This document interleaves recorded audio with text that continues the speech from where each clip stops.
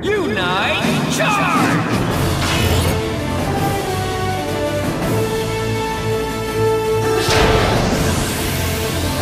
Final Ultimate Legendary Earth Power Super Max Justice Future Miracle Dream Beautiful Galaxy Big Bang Little Bang Sunrise Starlight Infinite Fabulous Totally Final Red? Wonderful Arrow! Red? Unite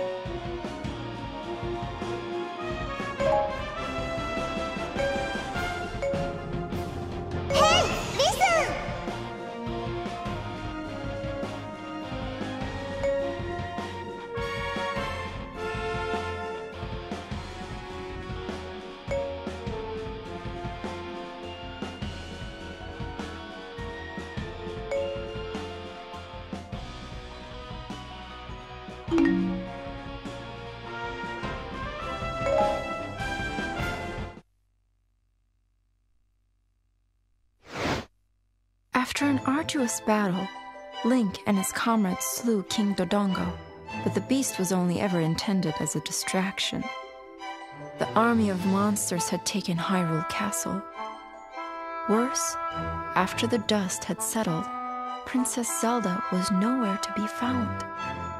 Impa and Link searched the battlefield for any sign of her, but to no avail. Although the battle had been lost, Impa foresaw Link's importance to the coming war. She bestowed upon him a green tunic, the sign of the legendary hero. Link did not believe himself worthy of the honor, but he was determined to help Impa and her remaining soldiers locate Zelda. Weeks passed. Impa heard a rumor that a handful of soldiers were holding out against the monsters in Faron Woods. The leader of this resistance was supposedly a young woman. Impa dared to hope that this unknown woman was Zelda.